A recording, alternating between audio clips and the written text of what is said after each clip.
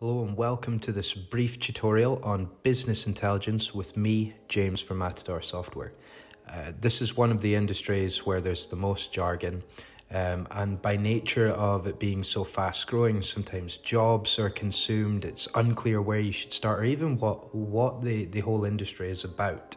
So I'm going to try and break this down into an overview, job titles, technology used, sort of the job function or what you may expect to do within a BI role, and then also some resources. So without further ado, we'll get going.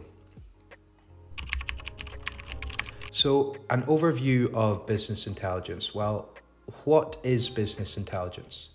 It's the discipline and process by which enterprises use strategy and technology to analyze current and historical data with the objective of improving strategic decision making and providing companies with a competitive advantage. Now, if you actually want to bring this into layman's terms a bit more and bundle up, you can think of BI software as a whole as just being a package of ETL, extract, transform, load, warehouse structures, and reporting tools such as Power BI or Tableau, ways that we can visualize data. Um, and that enables people to harness their enterprise data. Now, business intelligence is a title that's used interchangeably with technology and a multitude of data careers. Now, this is in part, like I said, due to the data field exponentially growing and traditional roles such as ETL developers or database administrators being consumed by new and evolving titles.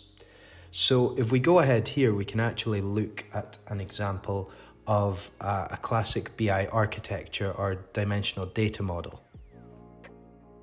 So this image of a classic BI architecture is from the Data Warehouse Toolkit uh, by Ralph Kimball, who's considered one of the fathers of business intelligence. So what we can see here is essentially this is this aims to be a whole representation of a business's process. That's what we want to do with our BI architecture but we want to make it effective and efficient to gather data and get to the right granularity or level of detail. So that may be sort of individual transactions. So we start with source transactions. This could be in a transactional system or a proprietary software. It goes through some cleaning, some ETL, extract, transform, load into the data warehouse. It then goes through another level of cleaning into the presentation area where you may see star schema or OLAP cubes. Of course, if you work with Power BI, you're going to know star schema, where we look to get things to a sort of denormalized state and an efficient way of retrieving our data. And then we can go into the actual BI element, the, the sort of presentations, the data visualization. But you know, even if you're you're not familiar with sort of operational systems, staging areas, ETL software, data lakes, data marts, presentation areas, the fact of the matter is these principles were first documented around 30 years ago by Ralph Kimball and colleagues, but they're still more relevant than ever. Um, and if you fully understand these principles, this is really where you need to start with business intelligence it ultimately contributes to a proper top down BI strategy when you go into working in organizations, correctly aligning your business intelligence systems with business processes, and a successful framework that can grow by iteration. So now let's look at some of the technology that you, you'd likely to be using, whether that's tools or languages, when you work in business intelligence. So we've mentioned you really need to know sort of architecture, and you may use Synapse, you may use Azure SQL for that side of things, um, but you really need to use a visualization software. But if we start at the very beginning, actually, Excel is very handy, and there's there really is a debate around the the application of Excel and business intelligence and data. But if we look at a strictly business intelligence point of view, you're likely going to want to implement self service. So, if your strategy works, users can actually serve on simple queries, and you'll be left to work with sort of data requests, maintaining architecture, um, bespoke queries, and sort of more complex dashboards and reports. So, actually, Excel is going to be a valuable tool in your strategy for you know business stakeholders or end users. And obviously power pivot and power query has helped excel be more competitive in that aspect. Next what i would look at would be sql where you can then start to pull information from relational databases and you can build that into your business intelligence strategy so that people can that can be your route one um, to get information quickly if an end user or a, or a business stakeholder has a question you can then move on to power bi or tableau or Qlik or whatever that visualization tool may be i would suggest power bi is sort of the leader now especially with its close links to the microsoft stack um, like Power Automate and, and SQL and Excel, etc. Power Apps is becoming very popular, um, and we have the, the mutual strength of the Power Platform. So that's going to be your key way to actually, once you can shape data, you can build architecture, you can then model it um, within Power BI. Then you can actually start to present these insights in a language that stakeholders can understand. And I would also recommend, you know, R and Python. For me, I potentially see a bit more value in Python due to the ability to automate tasks. If you can get to grips with Power BI Server and you maybe you don't have premium licensing or the capacity to pay for that, then Python may help you there with automation. But it'll help you with your everyday tasks and increasing efficiency, which is something you'll be looking to do in the world of BI. Now, job functions is an interesting area because it can be really vast depending on the company you work, and this can really change. So, some BI analysts may just work, you know, in a Power BI capacity with a bit of um, Excel and SQL. However, some may be expected to do much more of the architecture and you know, traditionally sort of data engineering or down the data science route, um, but your job title may still be BI analyst. And this is obviously due to the industry growing quickly, people not knowing as much when they're hiring people for these positions because it's suddenly become a huge need um, in many businesses' eyes.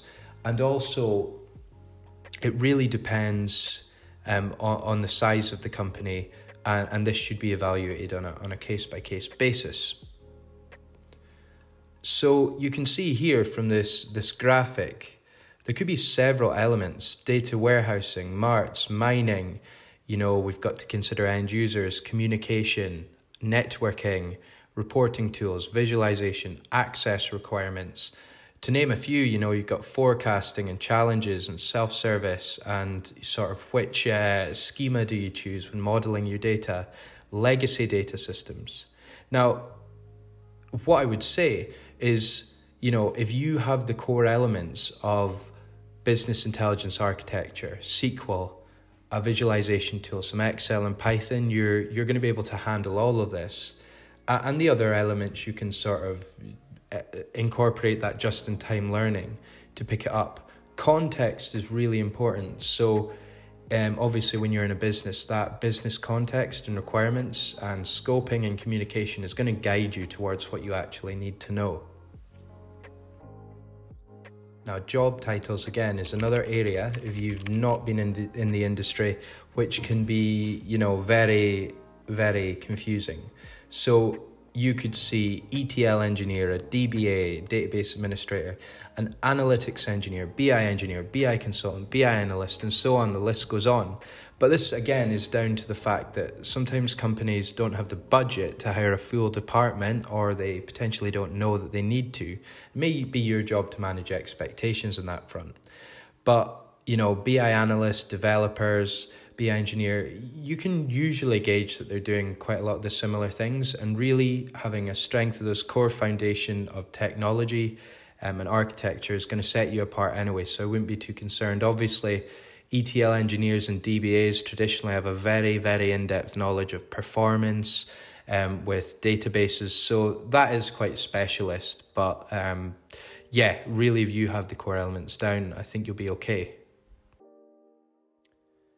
Now, in terms of resources, I would make some honourable mentions before I go into these four books. So I would say that YouTube is fantastic. I, I learn so much on there daily. I would harness the power of LinkedIn because a lot of people see it as a job network, but if you really connect with other data professionals, you're going to get new information as it's released, people's videos, blogs, as you log into one platform. And that's exceptionally powerful in an industry where you really need to be learning most days because it changes so quickly. So, four books that I would recommend The Data Warehouse Toolkit, as I said, by Ralph Kimball and Margie Ross. This is paramount for an understanding of BI and data. So look look into that. With data visualization, storytelling with data is fantastic and it's quite a light read, but there's a lot of important da- data visualization principles you may not originally consider, such as the effect of color, real estate, um, context, and all these visual elements are going to be mentioned here, and it'll be important when you go to present information to stakeholders who are generally quite busy. Expert data modeling with Power BI is hands down one of the best Power BI, Power Query data modeling books I've read. So, yeah, if you are using that as a visualization tool, I would suggest checking it out. And a beginner's guide to SQL Server was one of the first SQL books I read. I found it very useful, very comprehensive, uh, and quite theoretical, which I like without being overwhelming. So that's been my roundup of business intelligence. I think it's very confusing for people who are new to the industry or involved in one or two of the technologies and sort of at, a time of applying for positions. If there's anything you would add, please comment below. And as usual, if you like this content, please feel free to like, comment, subscribe, and share. Thank you.